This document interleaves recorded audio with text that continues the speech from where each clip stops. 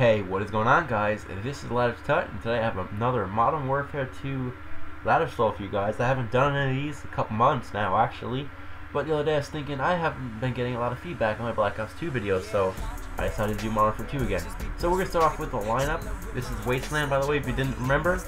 Uh, you're just going to go face the opposite direction of the ladder, and there isn't really too much of a lineup for this ladder stall because it's really easy, so if you're not too good of a trick shotter yet, or ladder stall person, uh, this will be easy for you to learn and it looks really good. So basically you just want to be looking forward at any point. I usually do like right there.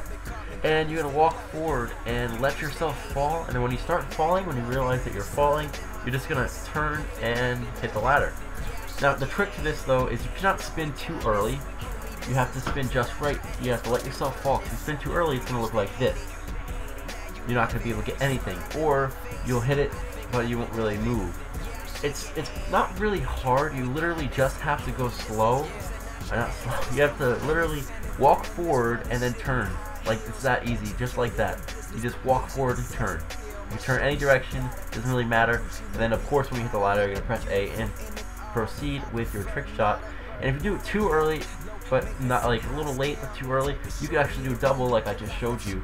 But that's pretty much it, guys. Could you leave a like and comment, and maybe subscribe if you haven't already. And other than that, peace out, guys. And if you want more Modern Warfare 2, just hit me up in the comments. Peace out, guys. The proof is within the numbers, they slumber, but now they react.